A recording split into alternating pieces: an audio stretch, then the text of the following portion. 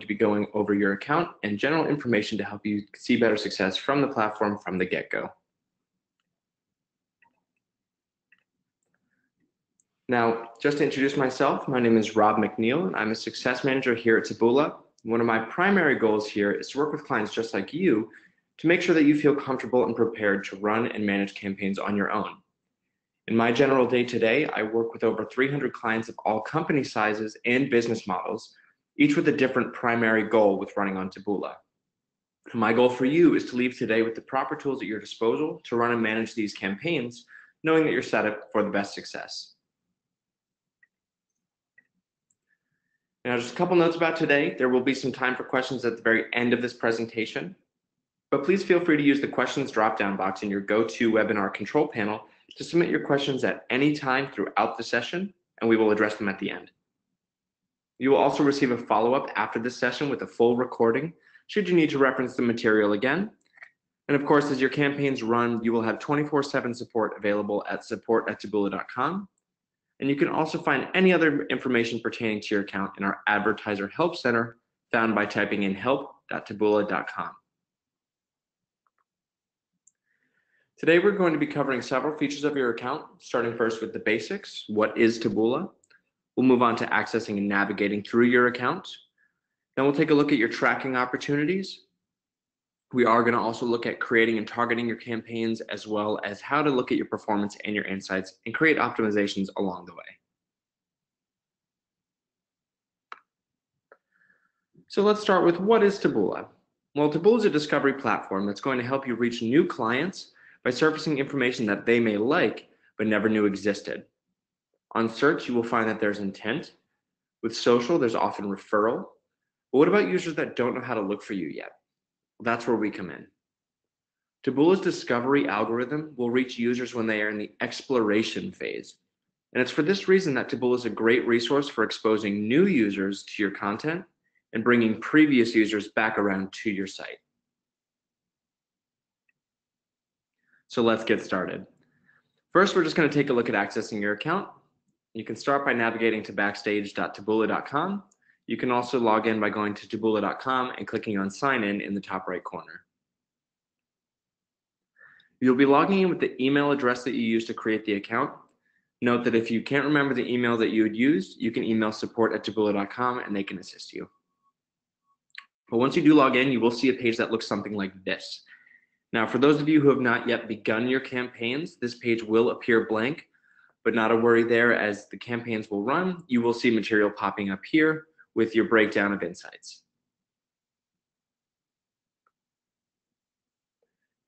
Now, as an account overview, we're going to take a look at a few pieces. First with the billing management, as well as campaign management, where you go to run and manage all of your campaign activity. And then we also have the Taboola Pixel section, which we'll take a deeper look at, which is our universal tool to be able to apply tracking material and create retargeting opportunities. So just to get us start with the account overview in the billing section, you will see two portions. There's the billing management page, and this is where you can add a credit card, change the credit card that you have on file. You can also see the last billing date applied to the credit card. If you're to click on the payment history slide, what you find is just a history of payments that you've made, along with any VAT or fees that have also been applied to those charges. Now, just a quick note, if you do add a credit card and the default message just says something like automatic billing enabled, but error or error retrieving data, it typically just means that we're waiting for the credit card to send us back an appropriate signal. That should typically take a couple minutes to an hour. Once that is done, you are ready to build out your campaigns. But now we want to look at the actual campaign management and creating the Taboola Pixel. So we're going to look first with the Taboola Pixel material. And then we're going to dive into looking at your campaign management page where you will go to build and create your campaigns. We'll look at the top campaign content where you can make adjustments to your existing campaign inventory. And then finally, we're going to look through your campaign summary where your insights will live and also additional optimization tools for future campaign performance.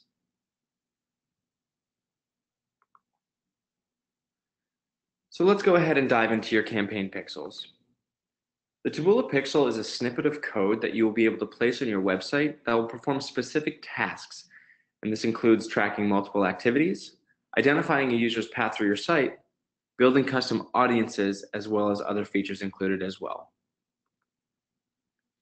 When you click on either the conversions or the audiences page for the very first time, you will see a page that looks like this. Notice there's features for creating the pixel. This is your first step. When you create the pixel, you will be given a base code. And this base code will need to be applied to the header of every single page on your website. Once that is placed, we are now ready to build out your conversions and your audiences.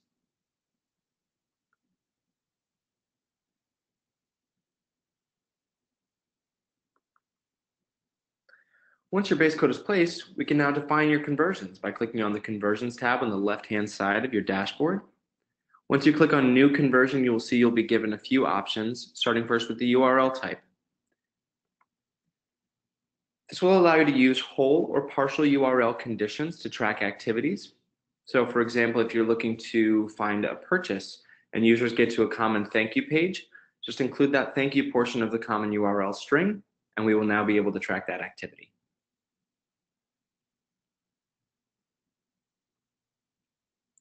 We also have event type conversions. Now these are a bit more dynamic. When you click on an event type, you will be given several options and an additional snippet of code that will need to be added to the page where you are tracking this action. Now this is either below the header for a page or in the relevant HTML snippet for an inline event. So some examples of this would include when users add items to a cart or purchases a product with a dynamic order ID. If you're using a tag manager like Google Tag Manager, you can also use this event type to track users who've been on page for a certain number of times or who've been on to a certain percentage scroll down a given page. We do create some pre-custom events for you, but you also have the ability to create your own. As you enter the fields, the snippet of the code will actually update for you so that you can implement it correctly.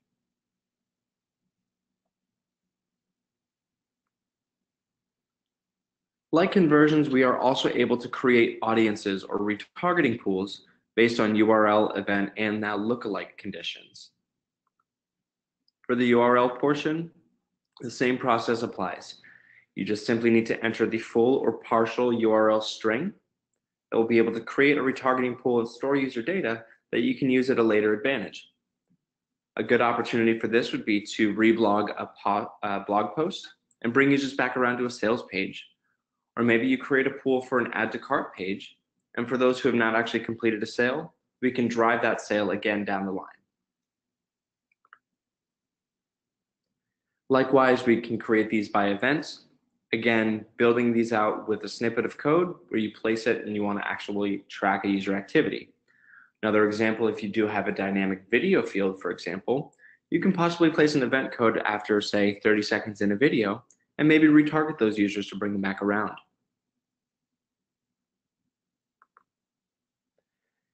And our most recently added feature is the new lookalike audience. When you go to the Audiences tab, simply click on the drop-down arrow found next to the New Audience button and select the Lookalike Audience option.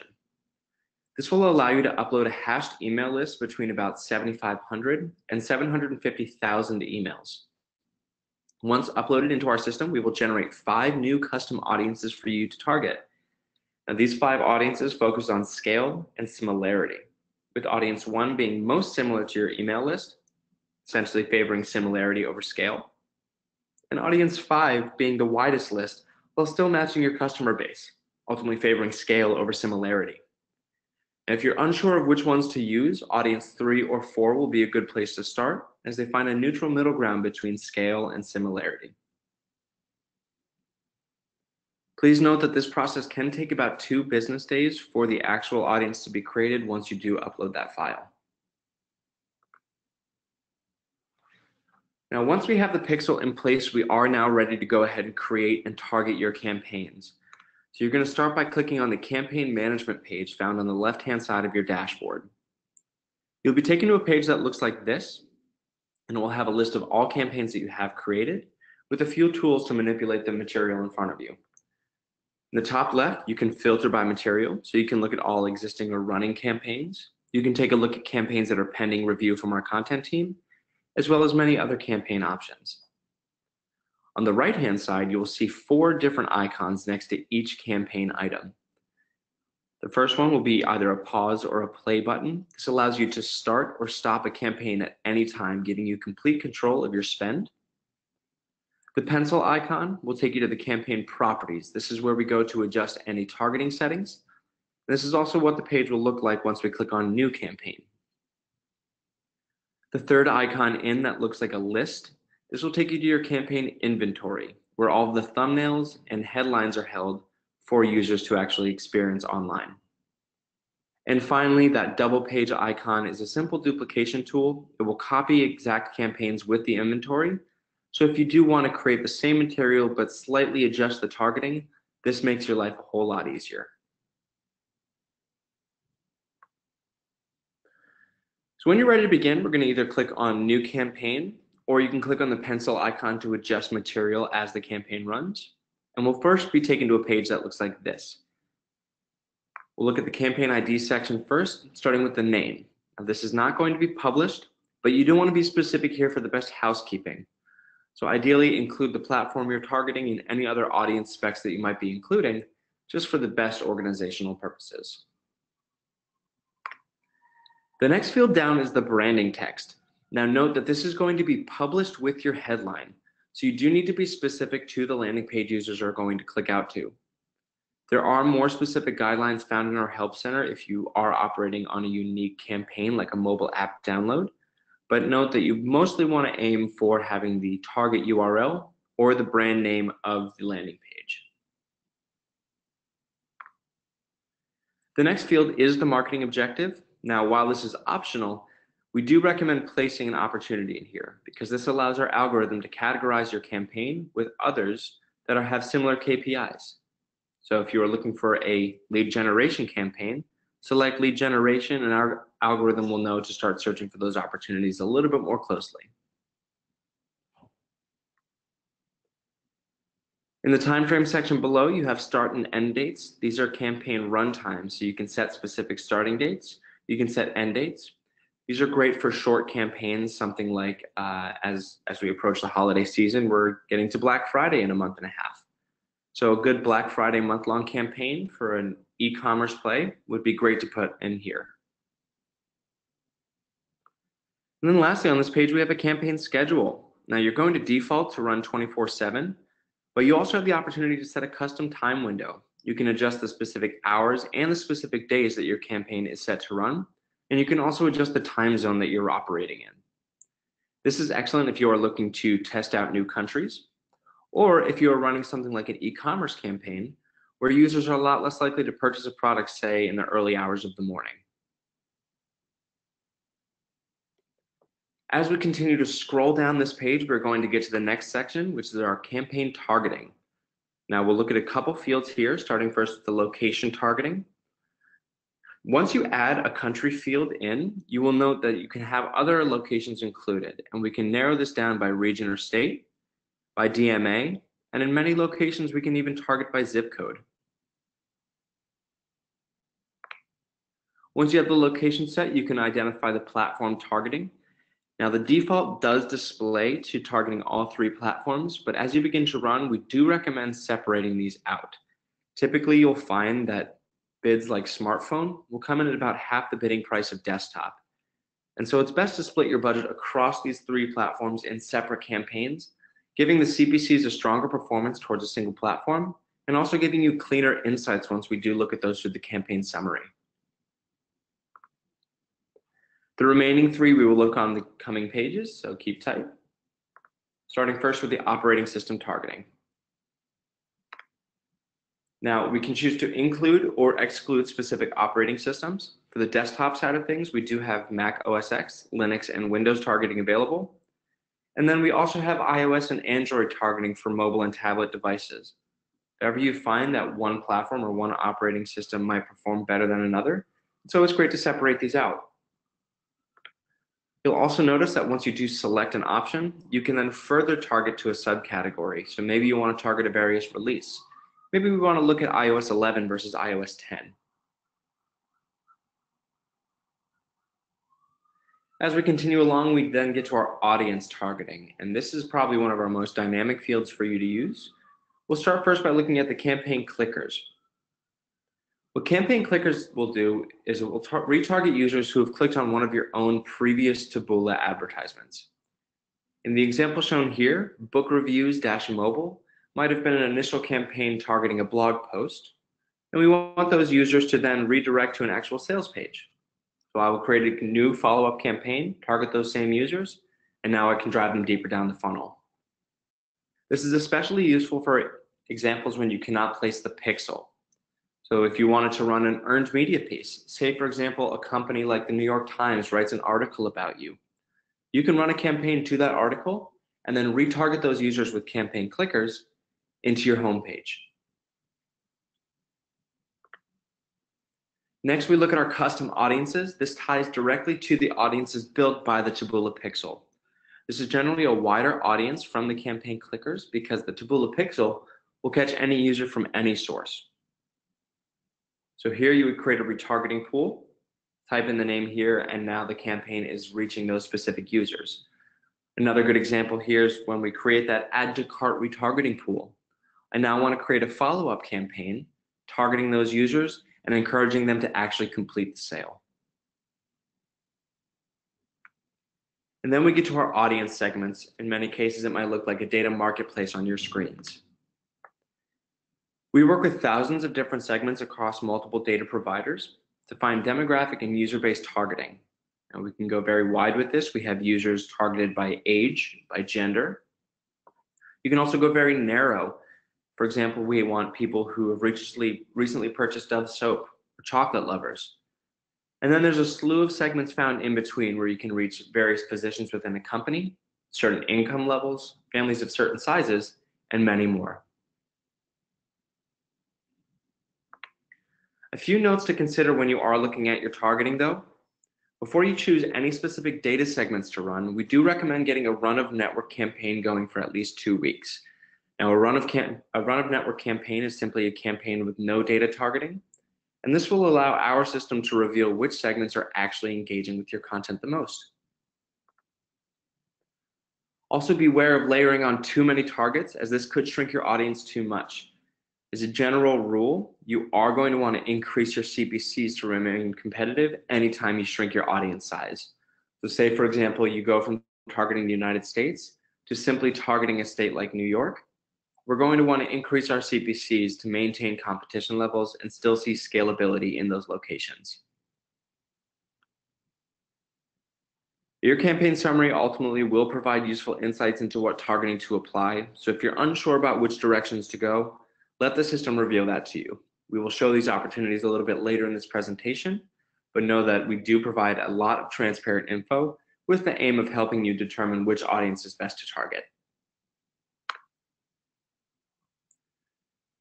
Once we have our targeting set up, we are now ready to set the bidding and the budget for your campaign. Now, the bid amount is the place we'll start.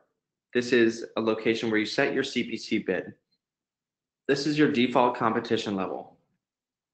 Here, this will determine how much you're scaling. So if you're not seeing enough impressions or enough activity actually being served, users are not clicking, a good default is always to increase your CPCs.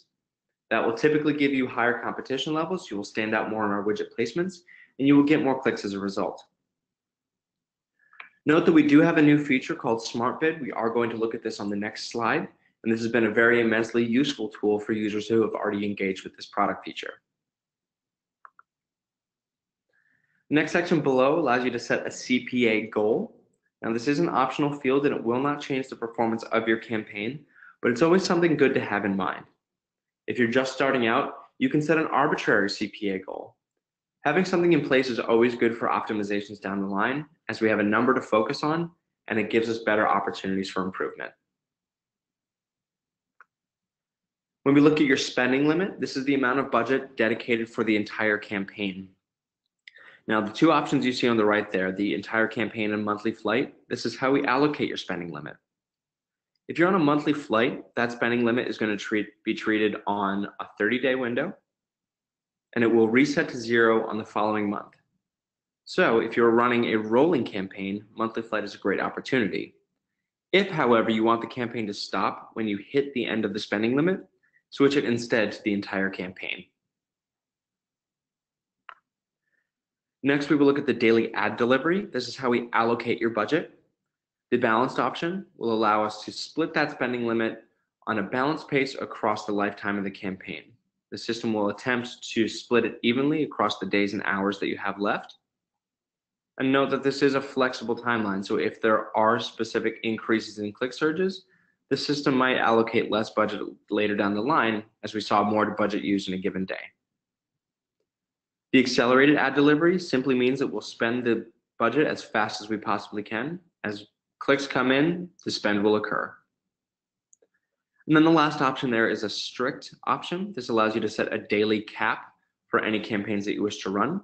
Note that there's a buffer of up to two times the daily spend to account for those same click surges I mentioned previously. And then lastly, we have our creative traffic allocation.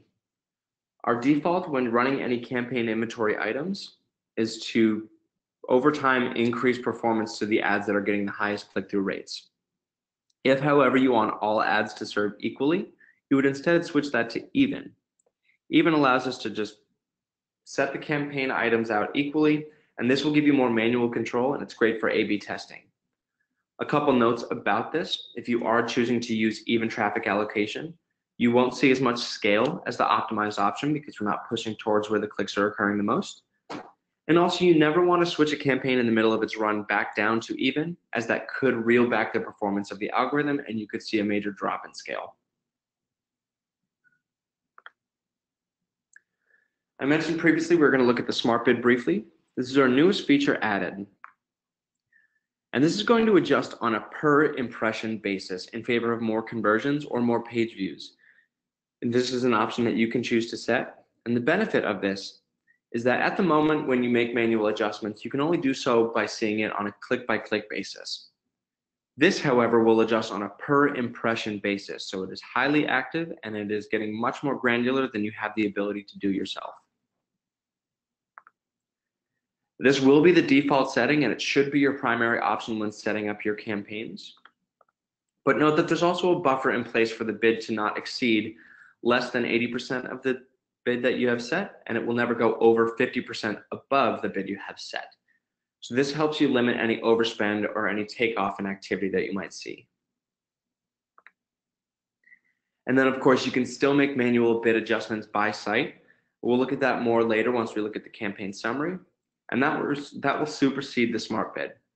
So note that when you are on smart bid, you still get full control over your campaign performance and can make adjustments to lower your CPA as you see fit.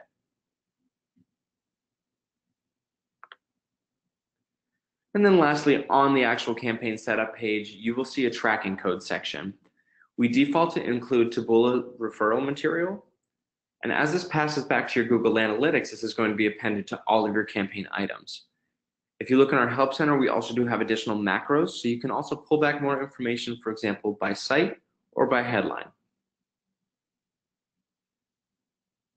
Once you're all set with this, scroll to the bottom, hit continue, and you will see a confirmation page to confirm all of the targeting opportunities you have set.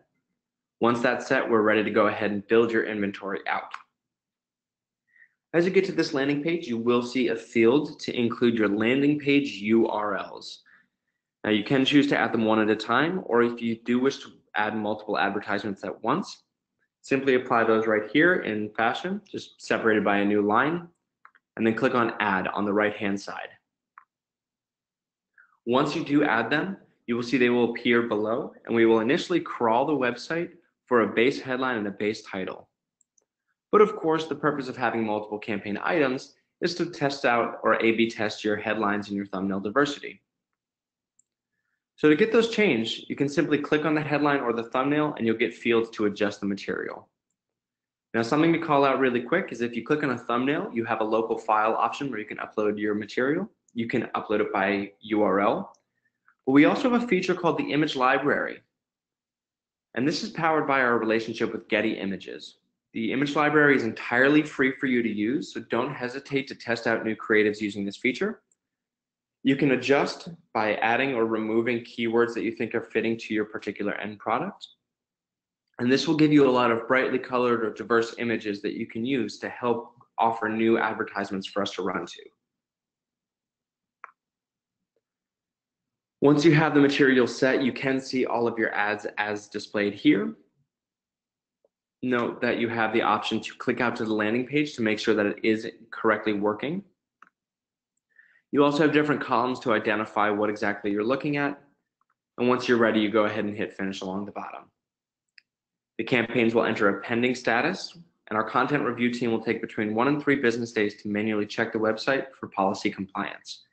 A full, list, a full list of our advertising policy guidelines can be found online, so be sure to adhere to those as they can determine how your campaign is going to run. And just like that, the campaign is ready to go. And once we see, start seeing clicks come in, we are ready to track your performance. Starting first with the top campaign content section found on the left side of your dashboard. Here you will see a breakdown of all of the inventory items you have decided to run in the top left, you can filter by specific campaigns. And you also have the ability to pause out any creatives. So if you're looking to optimize your performance over time, consider pausing out the creatives that aren't doing so well, and this will give us a stronger pool of creatives to work with.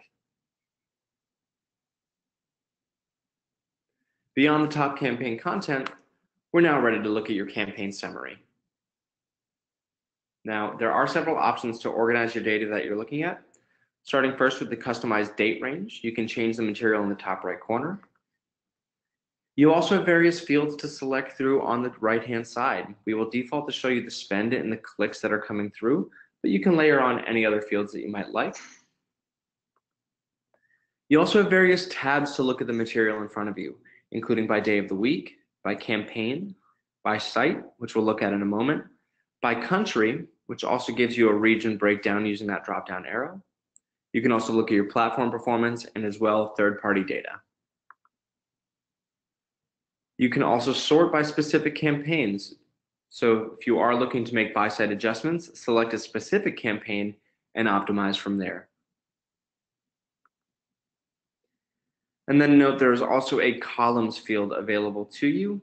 This allows you to set up or view multiple conversions. So when you set up that Taboola pixel, Say you have a conversion for users who actually complete a sale, but you're also tracking the activity of users who get to the add to cart page. Here's how you can break that out in your campaign summary.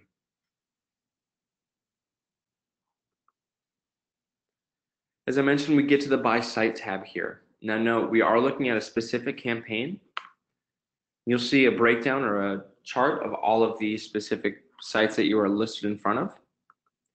The data below will give you a lot more granular details, including the click-through rates and number of clicks, the average cost for that particular placement, and then other activity like the actions, CPA, and spend to those particular sites.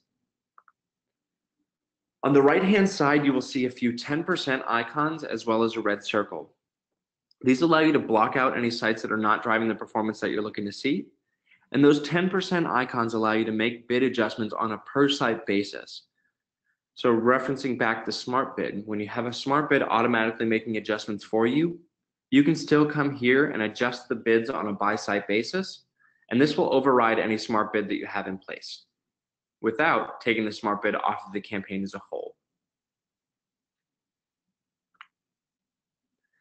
The other tab that's really useful to look at is the By Audience tab.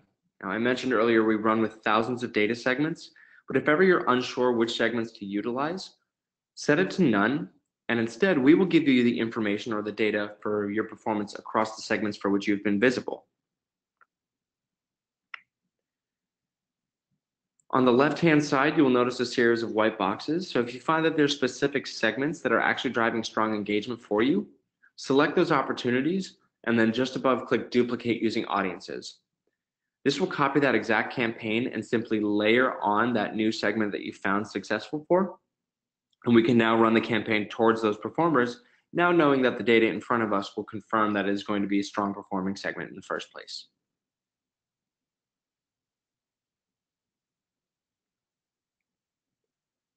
So in summary, your first step should always be to place that pixel. This is a dynamic universal pixel that gives us a lot of tracking opportunities and gives us more to see than just the clicks coming through.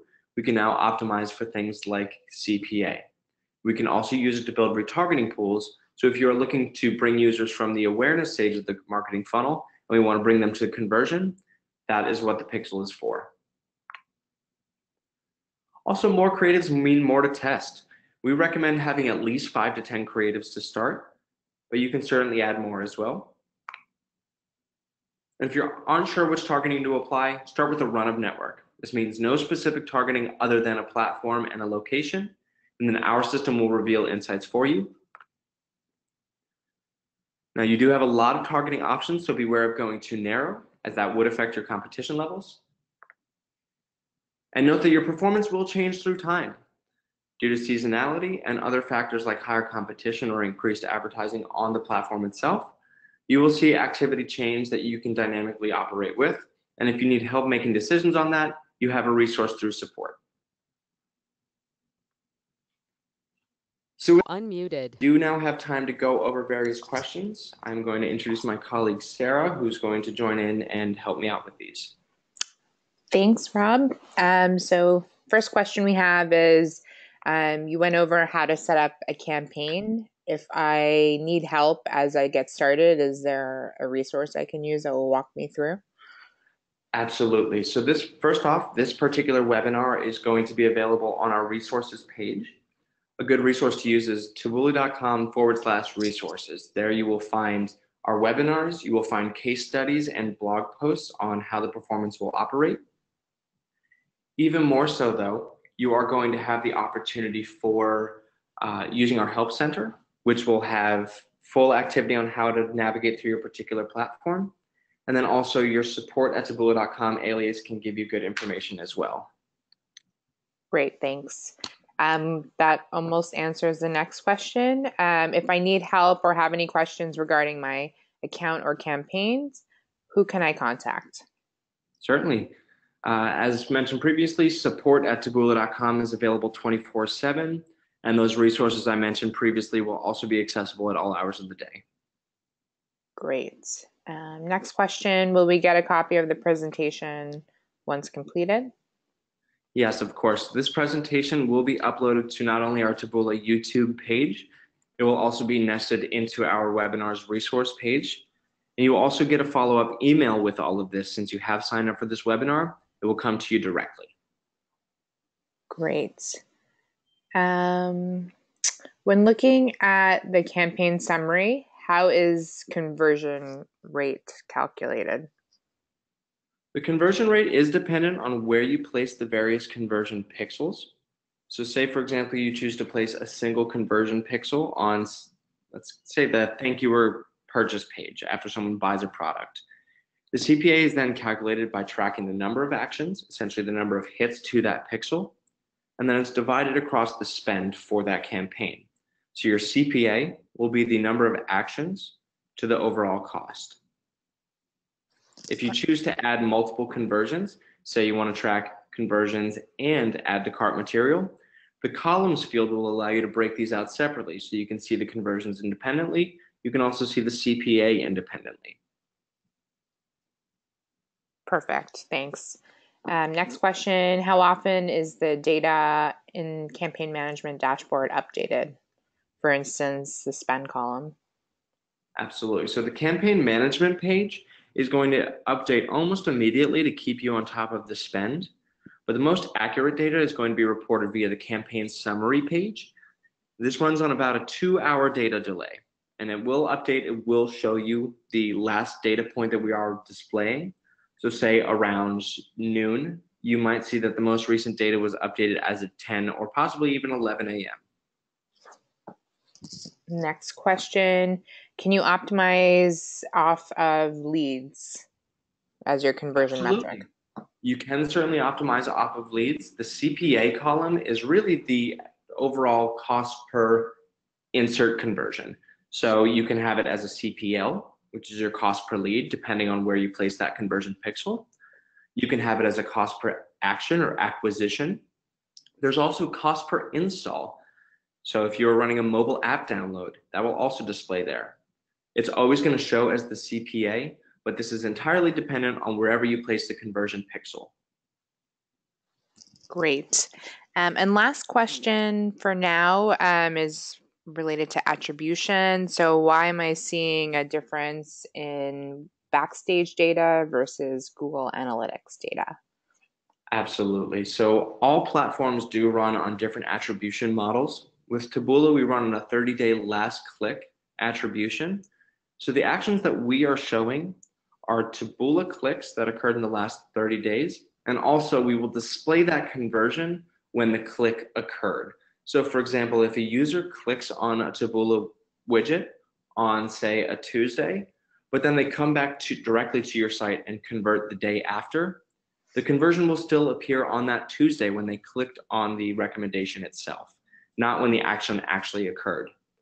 With Google Analytics, their attribution model is different, so they may place your conversion in a different location. So there might often be discrepancies between the various tracking platforms you are using. If you do have further questions on how to actually identify where these conversions are coming from, then you can certainly email support but know that we tie the conversion to when the actual click on your ad occurred, which gives you closer performance to the actual real-time advertisement. And then also, if you wanted to see more information or give strong comparisons, use the UTM macros found in our Help Center to offer that comparison or that data pullback to your Google Analytics. Now, more will be coming out on our attribution, and we will also be introducing very soon a view through attribution. So you will also be able to soon track users not only that have clicked on the ad, but those who have seen an impression and later converted through maybe an alternate source. Great, and looks like that's it for questions.